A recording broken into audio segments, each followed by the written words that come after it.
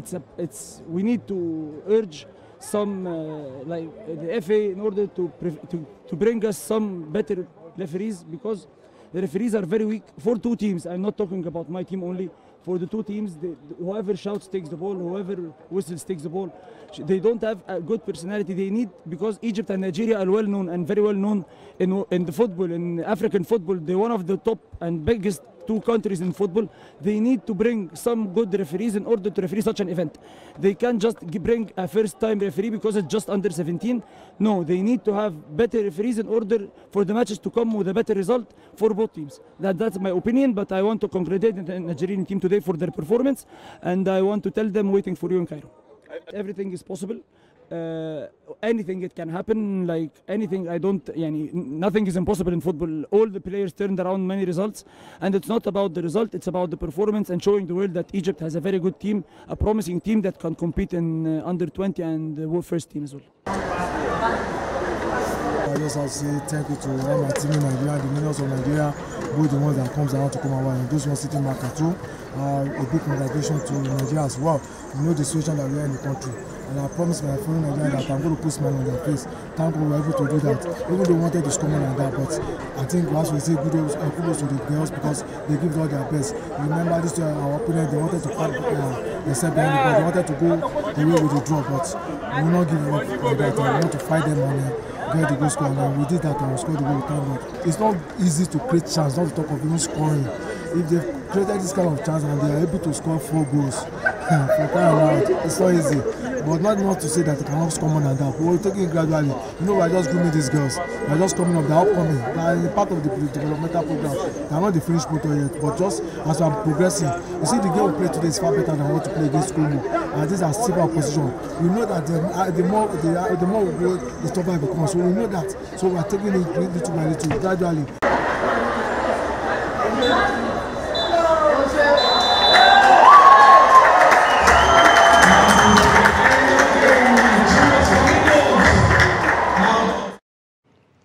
One coming from our ladies there. The under 17 team called Flamingos of Nigeria. They walloped Egyptian team 4 0 just yesterday at the MK Abiola Stadium, at least standing one of their feet uh, in the qualifier as well. They play the first leg now, they won 4 0, and the second leg will be coming up over there in Cairo, Egypt, precisely. Using that to welcome you on 360 Sport. On Trust TV, I am Adeni Ajishafe. Well, lots of uh, activities that will quickly be running after, running through uh, in the world of sport. We just have to quickly look at activities there with uh, a lot of stories. But let's start with uh, talking to our guest. Uh, good to have you, uh, Joel Ajayi in the studio, and also Niyi Busari. Good to have you. Good Thank you for the opportunity to be here. Good one there. Now we start with the shot you just saw there. Th- Uh, our ladies under 17. What they did just yesterday, uh, they really showed their class against Egypt. That game, uh, India 2022 uh, World Cup qualifiers, where Nigeria right now playing the qualifiers, and we did well by winning our first leg against- Egypt. I I don't think it's a surprise to somebody like us who have been following women football in Africa. When we are talking about women football in Africa, uh, Nigeria uh, will never be underestimated. Uh, the senior and uh, the junior category as well. Um, Egypt cannot be compared to Nigeria in terms of uh, the women football. And that is exactly what I've shown yesterday uh, in Abuja when we played the first leg in Nigeria with the hope of repeating, even if not the same, and targeting the win uh, in Cairo in a week's time. And I believe uh, they are capable of doing so. Going by what they did yesterday, there was no much threat um, from the Egyptian player, no threat from them, and that has shown that uh, uh, definitely uh, they need to work very hard when they return to uh, to Cairo to overturn the the, uh, the 4-0, which is very very difficult for them. Though um, the coach was talking tough yesterday, blaming the loss on the official that uh, the officiating was bad, and that was what led to 4-0, which of course is, uh, an excuse from my own side, from my view, because Nigeria, right from the blast of the whistle, uh, they took on to uh, to the opponent, make sure that uh, uh, they frustrate them to commit some blunder will lead to some of the goals over there. And I think uh, with that in mind, uh, Nigeria will definitely pick this one, going to the next round of the championship. Good one there. We've been looking at the uh, the ladies what they did just yesterday. Uh, Joel Ajayi, uh, that game you just saw it down. Our ladies, though we won that game 4 0, and the coach said, well, there are still some uh, skirmishes where they need to work on. Do you agree with that? Uh, I think uh, it's a very good good game for Nigeria. And then, uh, like coach said, there is no game that is perfect, even in Champions League, even in EPL. When you play a game, you try as much as possible to look at all those uh, lapses that you committed in the previous game, and then you work against it for uh, the next game. But what I just want to say is that 4-0 is a very good result for us as a nation. But like my, my brother used, said it here, we need hard work because uh, in football anything can happen. No matter how giant we are in terms of uh, women football, we need to do our homework very well. Go to Cairo, even if you are going to concede, concede less than four or play a draw. If possible, you can even Beat uh, them. beat them and be, uh, be at safer side because you are still meeting uh, either South Africa and uh, Ethiopia. Ethiopia. Though uh, South Africa, I, I think they are tactically out because Ethiopia went to their home yesterday them. and beat them 3-0. And then it will be very difficult for for me, oh, but in football anything can happen. It might be difficult for them to go back to Ethiopia and, and, and upturn that particular result. So just go to Egypt, do your homework, put a lot of stre- a, a lot of energy, a lot of strength, a lot of ta- tactic for you to make sure that uh, you are on top of the, of the situation. Now, if you watch that particular game, uh, just uh, the performance of the Egyptian might not be too, uh, like, let's say 100%, but there's this number 10 and number 9 of their players that really did so well. And you look at the antics of their coaching crew, they, they, were, they, were, they, they kept coming to the pitch, walking in, and making it look as if it wasn't a, a, qualifier. And people were like, by the time they get to Egypt, what will happen if they are doing like this here in Nigeria? Like I said, uh, you you have a four goals in your basket. All you need to do is to look at. That's why we, we, we are, when we are talking about uh, technical crew, we should have people on the bench that will be watching all these points that you are you, you are raising.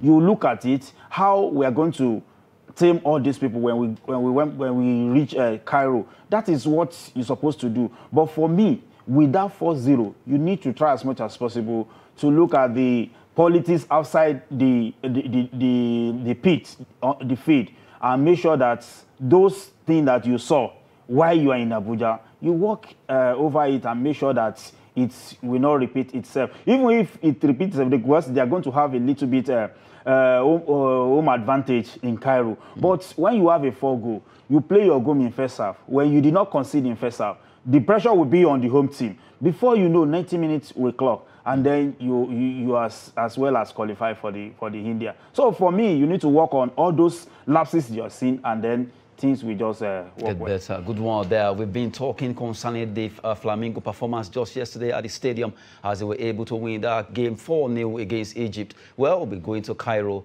Hopefully, our ladies will do us proud. According to what Coach Bankole said there, that he will work on the ladies, although the team is actually getting better each game they play. Well, well, let's move away from the women football quickly. We talk about the NNL, Nigerian National League, the second tier of our league, as we start with Group uh, uh, A2 result there. Well, quickly, as we have uh, the result, JM Liberty, they actually play goalless. And the way the table is standing, from Adamawa winning against DMD 1-0, Kebbi United 2, Malumfashi FC 1, Road Safety 3, Kogi United FC 0. And you have Doma United, they peeped NAF FC 1-0. Now they are topping the table uh, in Group A2, Northern Conference, by uh, having 17 points, playing 10 matches, followed by Jigawa Golden Stars, Malumfashi FC, DMD, Kebbi United. You have Adamawa, Green Beret, Road Safety. These are teams from Abuja. And you have Kogi United, JM Liberty, and you have NAF FC standing down the table there with nine points from 10 matches. This is not too good for NAF. Yes, uh, NAF FC. Uh, uh, three seasons ago, um, play qualifier with the, the Gawa Golden Star to earn uh, a ticket to the MPFS. See them now at the rock bottom of the table. That is not a good one from Abuja. And I think uh, with my experience with the, the NNL, particularly teams in Abuja, they suffer some kind of uh, officiating. What do I mean? When a team comes to Abuja, they see the, the, the, the pitch or the home ground of the home of the team as a, a 50-50 affair. Because the referee, based on the caliber of people that will be on the pitch to watch the game, will be fair and we like to write his name in gold. While they don't, the home team, NAF and some other team in Abuja don't enjoy such when they travel on our way. We have seen many teams, I've traveled with many teams in the NNL, and I've seen many teams, many officiating that you cannot even recall because of the irate fans. You can't bring out your phone to pick all these uh, scenes.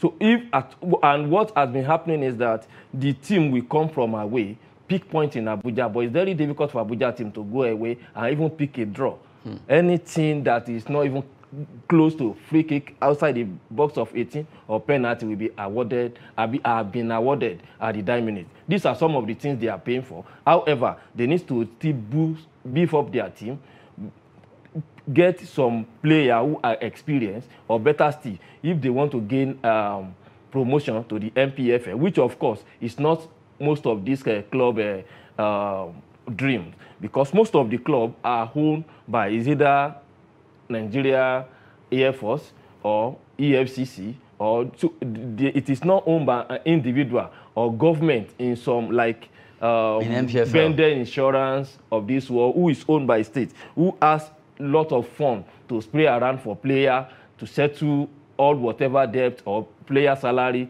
which of course is serve as an encouragement for them to perform well. We have seen in this situation where players are owed two, three months, and that is not encourage it's not encouraging for you enough for player to go onto the pitch and say yes today i must die here to earn the three point so mm. these are some of the things that have been affecting uh, the abuja team not only naf fc all the almost all the abuja team have been suffering from this except the citizen the city fc who just come who is uh, the team that is just an uh, uh, a, a, private club in FCT, and you can see it's maintaining top of the table because that is exactly what we are preaching. When team are not handed to professionals. These are the things you reap from them. Good one there. We've been looking at the Nigerian National League. Quickly, let's look at Group B2, uh, B1 rather. The results that actually happened during the weekend where Adoration FC defeated Bendel Insurance by a lone goal. And you have uh, J Atete won against Abeokuta Stormers. Campus FC, it was a 1-1 uh, draw against Ikorodu City. Vandrezzer also 1-0 draw against Giant Brillars. Ekiti United defeated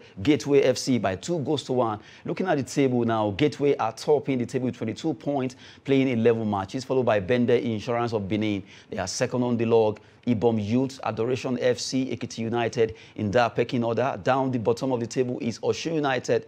In the red button, uh, you have J Atete and Campus FC. Those are the three teams that seems to be ready for relegation so far. They are not really doing so well. And if we go to B2, looking at Group B2 now, the result and also the table, Go Round FC are topping uh, the group there. Well, for the way it is, Ottasolo play 1-0 against Rovers FC. Ijebu United 1-0 against Crown FC of Ogbomoso. Abia Comet lost against Central FC. Uh, Sporting Lagos uh, peeped by Osa United by, uh, by a long goal. Warri Wolves 1, FC 1 Rocket 1. And the table is standing in favor of Go Round FC, who are topping with 18 points from 11 matches. Warri Wolves are second, followed by Sporting Lagos, Rovers FC, Inewu United, Ijebu United, down straight to Apex Crane Abia Comet, and Sinosho FC. You look at this particular table also, you'll be wondering how come Go Round FC, Warri Wolves, uh, most experienced teams are there. Sporting Lagos are really shocking uh, a lot of teams. They are new, but they are really doing well. Joel.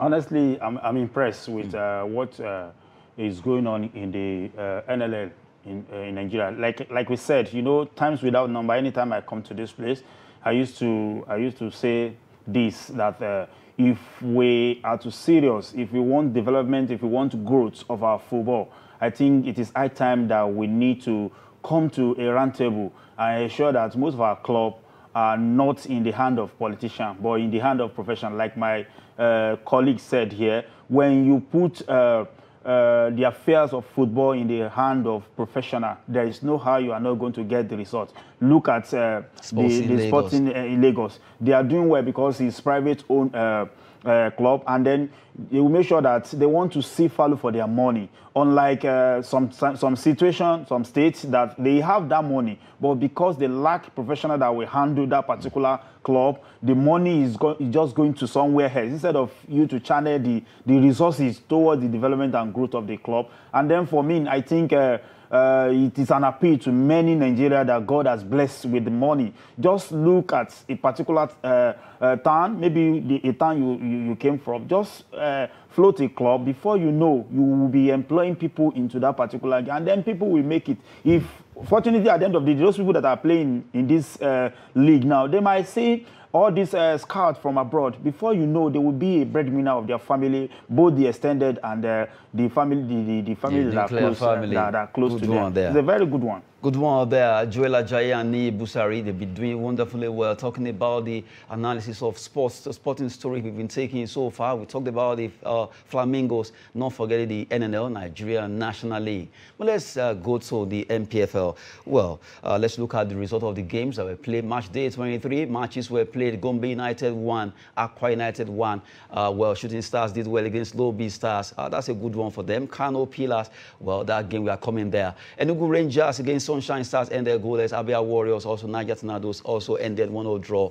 Uh, for this weekend, most matches ended in a draw. Wikki Tourist, Dakkada won their game. Nasarawa 1-1 against Remo Stars, while Plateau United defeated MFM. Well, those are the results. Now, if you look at the way the table is standing, despite the fact that Rivers are yet to play, they are there topping the league with 49 points. Uh, they have a game at hand to play. You have Plateau United, 48. They close the gap just a point, while you have Rangers with 38 points, Remo Stars in fourth position, Kwara United, and you have uh, Sunshine Stars. If you look at this table from the way it is, uh, well, we're coming to a Kano Pillars story, the next story we're going to look at. But from the way it is, Rivers United this season, they've been very fantastic.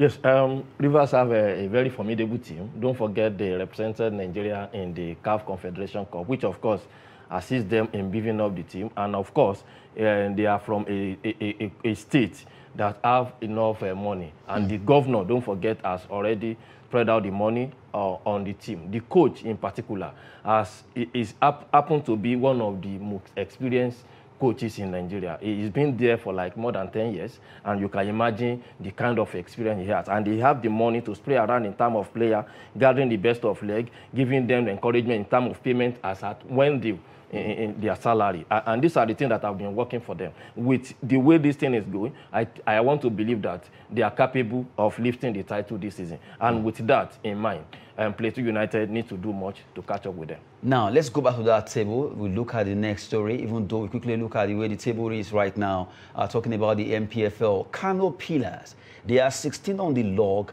with 23 points. Now, we're going to be looking at this particular story because Kano Pillars against Katsina United generated, generated a, a lot of issues there. That's Katsina United uh, uh, football uh, uh, team uh, balls being vandalized by uh, some fans. Uh, well, right now, that's uh, a, a big a big story there because LMC banished uh, Kano Pillars to Abuja. Now, we, we just have to really look at those verdicts. LMC slammed 9 million naira fines on Kano Pillars for breaches of NPFL rules, banished club to uh, Stadium, Abuja. Three points deducted from already accrued points. ban Sani Abacha Stadium, Kano, uh, Kano from hosting NPFL games forthwith. Kano Pillars to repair or replace damaged Katsina United FC team balls. Inconclusive game to be continued or replayed in Abuja. Three points deducted from already accrued points. Another three point deduction suspended till end of the season in case of further uh, breach. Looking at this, uh, that we have. That's the LMC, the League Management Company, the body that administer the rules and regulations governing our football in the league. Verdict on Kano Pillars. Kano Pillars Katsina. Funny enough, Katsina hosted Kano Pillars for some time. That was no issue. Now that they give them the chance, okay, go and play in your own home, then you attack the same team that have hosted you for a while. Uh, Kano Pillar issue uh, has been home for a very long time. Uh, recall what happened in the, what we call super hit in Lagos, where uh, irate fans of Canopilla were seen with cutlasses and uh, battles on the pitch of play uh, during the Super Four. Uh, when they were unable to make the top four that time. Having said that, oh, for the past two years, Canopilla has not played at the Sonny Abacha Stadium, and that raised some concern. They have been playing in Kaduna, and till now, within that moment, they, they left Kaduna just because of fans for Katsina.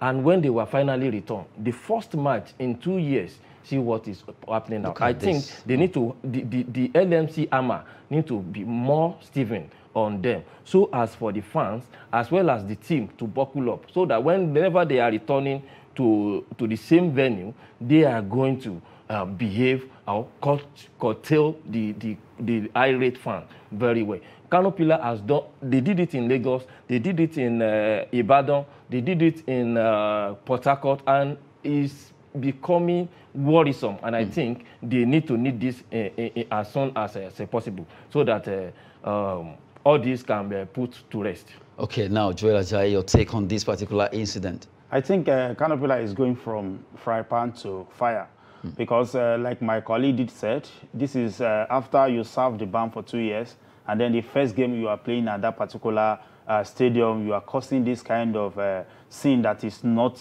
uh, smelling well for the for the development of our league. I think uh, beyond what my brother just said here, that uh, we should have we should have a, a, a better punishment for uh, Kano Pillar. While we are looking at uh, giving them a better punishment, we should look at most of the club in the country to try as much as possible to sensitize their their their, their, fans because it's becoming something else. Uh, like six or seven or eight years ago, I refuse to be watching a Canopilla game because once you are playing in their in their soil, if the goal is, does not come till like 80 minutes, believe that your life is not safe. And then if we continue like this, where are we going to end our league? Because people are watching. Look at the damage now. 9 million naira. You are going to repair your stadium yourself. Whether you like it or not, you will repair it because many things have been damages. And then you are going to replace or buy another one, another bus for the for the Castina United. If you look at all this, uh,